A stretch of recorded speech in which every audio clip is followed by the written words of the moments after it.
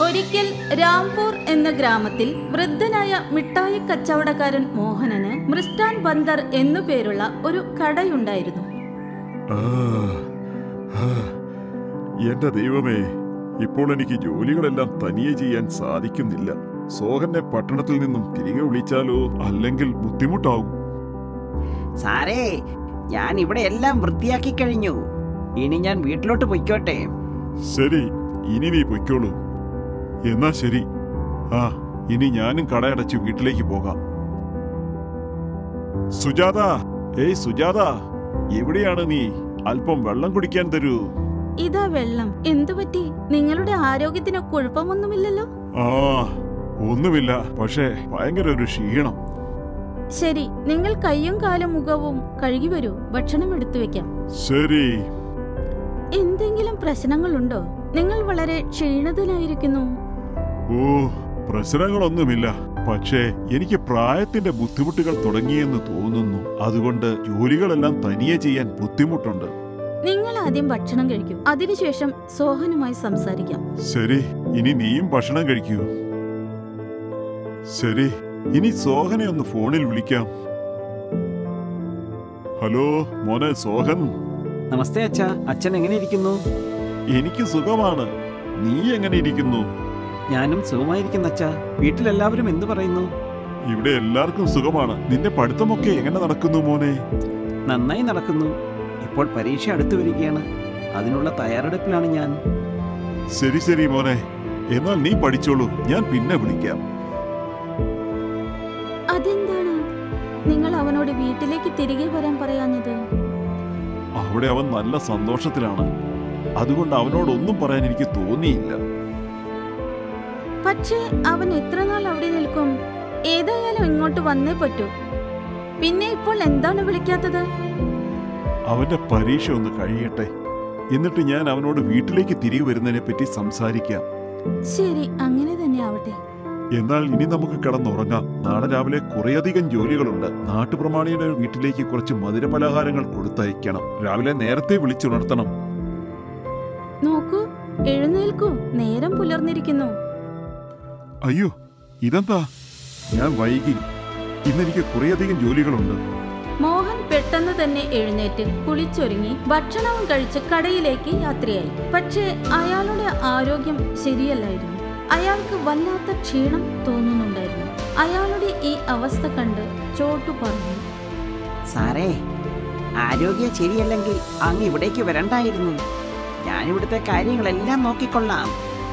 സാരമില്ല എനിക്ക് കുഴപ്പമൊന്നുമില്ല. പിന്നെ ഇന്ന് നമ്മുടെ പ്രമാണിയുടെ വീട്ടിൽ പലഹാരങ്ങളെല്ലാം എത്തിക്കണം. അത് വളരെ അത്യാവശ്യമാണ്. ശരി അങ്ങനെക്ക് മിഠായി ഉണ്ടാക്കുന്നത് എങ്ങനെയെന്ന് പറഞ്ഞു തന്നാൽ മതി. ഞാനതുപോലെ ചെയ്യാം.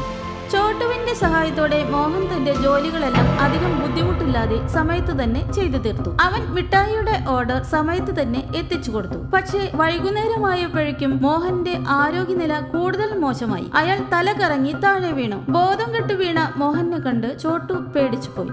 സാറേ സാറേ അയ്യോ ആരെങ്കിലും ഞങ്ങളെ ഒന്ന് സഹായിക്കൂ. സാറേ സാറേ.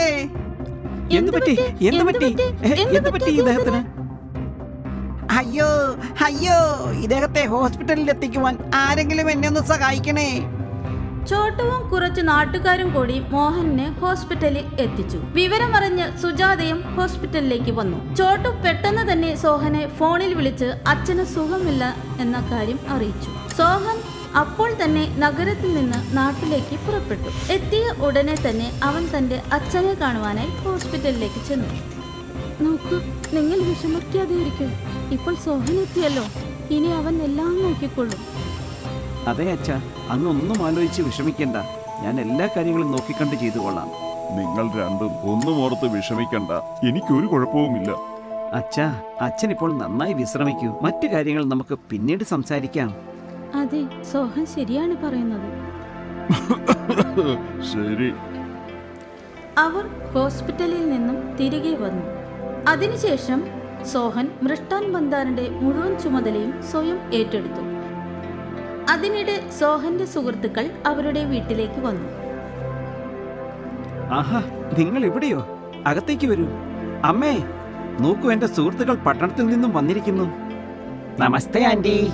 നമസ്തേ കുട്ടികളെ. നിങ്ങൾ ഇരിക്കെ. ഞാൻ നിങ്ങൾക്ക് കഴിക്കാനും കുടിക്കാനും എന്തെങ്കിലും കൊണ്ടുവരാം. സോഹൻ നീ എന്താണ് തിരികെ വരാതിരുന്നത്? ഇപ്പോൾ പരീക്ഷയും തുടങ്ങാറായല്ലോ. എന്റെ അച്ഛന്റെ ആരോഗ്യം വളരെ മോശമായിരിക്കുന്നു. അതുകൊണ്ട് ഡോക്ടർ സാർ പറഞ്ഞിരിക്കുന്നത് അധികം ജോലികൾ ചെയ്യാൻ പാടില്ല എന്നാണ്. ഇപ്പോൾ ഞാനാണ് അച്ഛന്റെ മിഠായിക്കട നോക്കി നടത്തുന്നത്. എല്ലാ കാര്യങ്ങളും ഞാൻ തന്നെയാണ് നോക്കുന്നത്. അപ്പോൾ ഇനി ഇവിടെ തന്നെ നിൽക്കാനാണോ വിചാരിക്കുന്നത്? ഇത്രയും ചെറിയൊരു കട നോക്കുവാനായി. ഇത്രയധികം പഠിക്കേണ്ടതുണ്ടായിരുന്നു. ഭക്ഷണം കഴിച്ചതിന് ശേഷം രമേശും മഹേഷും തിരികെ പോയി. പക്ഷെ സോഹന്റെ മനസ്സിൽ അവർ പറഞ്ഞ കാര്യങ്ങൾ നിറഞ്ഞു നിന്നു. അതിനുശേഷം അവൻ മോഹനോട് അതിനെപ്പറ്റി സംസാരിച്ചു. അച്ഛാ എന്റെ പരീക്ഷ തുടങ്ങാറായി. എനിക്ക് തിരികെ പോകണം. പിന്നെ ഞാൻ വിചാരിക്കുകയായിരുന്നു അവിടെ തന്നെ എന്തെങ്കിലും ചെറിയൊരു ഉദ്യോഗം നോക്കാമെന്ന്. എന്നിട്ട് അമ്മയും അച്ഛനെയും അങ്ങോട്ട് കൊണ്ടുപോകാമെന്ന്. മോനെ നമ്മൾ അവിടേക്ക് പോയാൽ ഇവിടെ നമ്മുടെ കട ആര് നോക്കി നടത്തും? അച്ഛാ അഥവാ നഗരത്തിൽ എനിക്കൊരു നല്ല ജോലി കിട്ടിക്കഴിഞ്ഞാൽ പിന്നെ എന്തിനാണ് ഈ കട? എന്ന് വെച്ചാൽ ഞാൻ ഈ കടയിൽ എത്ര വിയർപ്പൊഴുക്കിയതാണ്. ഈ കട ഒരിക്കലും ഞാൻ അടയ്ക്കാൻ സമ്മതിക്കില്ല. പക്ഷേ അച്ഛ ഇതിൽ നിന്ന് നമുക്ക് എന്താണ് കിട്ടുന്നത്? പൈസയും അംഗീകാരവും ഒന്നുമില്ല. ശരി മോനെ എന്നാൽ നീ ആദ്യം ഒരു ജോലി കണ്ടുപിടിക്കൂ. അതിനുശേഷം നമുക്ക് ഇതിനെക്കുറിച്ച് സംസാരിക്കാം. സോഹൻ തിരികെ പട്ടണത്തിലേക്ക് പോയി. അവൻ ജോലി അന്വേഷിക്കാൻ തുടങ്ങി. കുറെ നാളുകൾ കഴിഞ്ഞിട്ടും സോഹന് ജോലിയൊന്നും കിട്ടാത്തതിനാൽ അവൻ വീട്ടിലേക്ക് തിരികെ വന്നു. എന്നോട് ക്ഷമിക്കൂ വെച്ച ഞാൻ വിചാരിച്ചു ഉദ്യോഗം കിട്ടുന്നത് വളരെ എളുപ്പമാണെന്ന്. എനിക്ക് തെറ്റിപ്പോയി. സാരമില്ല മോനെ. പക്ഷേ ഒരു കാര്യം എപ്പോഴും ഓർമ്മയിൽ വേണം. ഒരു ജോലിയും ചെറുതല്ല. മനസ്സും ശരീരവും അർപ്പിച്ച ജോലി ചെയ്താൽ എപ്പോഴും വിജയം ഉറപ്പാണ്. അതെപ്പോഴും ഓർക്കുക. മനസ്സിലായോ? അച്ഛാ ഇനി ഞാൻ നല്ല മനസ്സോടെ കട നോക്കി നടത്താം അതിനെ എത്രയും നന്നാക്കുവാൻ ശ്രമിക്കുകയും ചെയ്യാം. ശരിയെന്ന് തോന്നുന്നത് എന്തും നീ ചെയ്തോളൂ. ഞാൻ എപ്പോഴും നിന്റെ കൂടെയുണ്ട്. സോഹൻ നന്നായി മനസ്സ് വെച്ച് കട നോക്കി നടത്തുവാൻ തുടങ്ങി. പെട്ടെന്ന് തന്നെ അവന് നല്ല രീതിയിൽ കച്ചവടം കിട്ടുവാൻ തുടങ്ങി. മോഹന് വലിയ സന്തോഷമായി. ഒരു ദിവസം അവർ രണ്ടുപേരും ഭക്ഷണം കഴിച്ചുകൊണ്ടിരുന്നപ്പോൾ അച്ഛാ ഞാൻ ഈ കട അല്പം കൂടി വലുതാക്കാമെന്ന് വിചാരിക്കുന്നു. അതിനായി എനിക്ക് കുറച്ച് പണം കൂടി വേണം. എത്ര പൈസ വേണം മോനെ? ഇപ്പോൾ ഒരു രണ്ട് ലക്ഷം രൂപ വേണം. പിന്നെ അല്പം കഴിഞ്ഞാൽ കുറച്ചുകൂടി പണം വേണ്ടി വന്നേക്കും. വിഷമിക്കേണ്ട മോനെ. ഇപ്പോൾ കടയിൽ നല്ല വരുമാനമുണ്ടല്ലോ. അതുകൊണ്ട് കുറെ പൈസ നീക്കിയിരിപ്പുമുണ്ട് നാളെ തന്നെ അത് ഞാൻ നിനക്ക് തരാം. ശരി അച്ഛാ. ഇതാ മോനെ ഇത് നീ ചോദിച്ച അത്രയും പണമുണ്ട്. ഇനിയും വേണമെങ്കിൽ ചോദിക്കണം കേട്ടോ. നന്ദിയുണ്ട് അച്ഛാ ആ പൈസ കൊണ്ട് സോഹൻ തന്റെ കടയിരുന്ന സ്ഥലത്ത് റെസ്റ്റോറന്റ് പണിതു. എന്നിട്ട് അതിന്റെ പരസ്യം സോഷ്യൽ മീഡിയയിൽ കൂടി കൊടുത്തു. അങ്ങനെ അവന്റെ കടയെക്കുറിച്ച് കൂടുതൽ ആളുകൾ അറിയുവാൻ തുടങ്ങി. പല സ്ഥലങ്ങളിൽ നിന്നും അവന് ഓർഡറുകൾ കിട്ടുവാൻ തുടങ്ങി. അങ്ങനെ അവന്റെ റെസ്റ്റോറന്റിന് പല ബ്രാഞ്ചുകളും തുറക്കപ്പെട്ടു.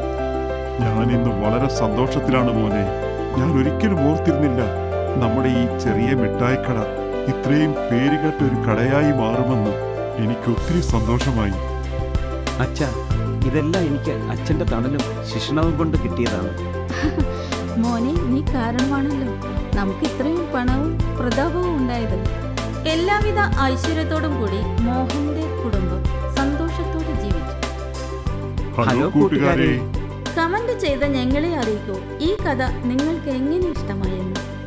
ഈ കഥ നിങ്ങൾ ലൈക്ക് ചെയ്യുകയും കൂട്ടുകാർക്കായി ഷെയർ ചെയ്യുകയും ചെയ്യുക.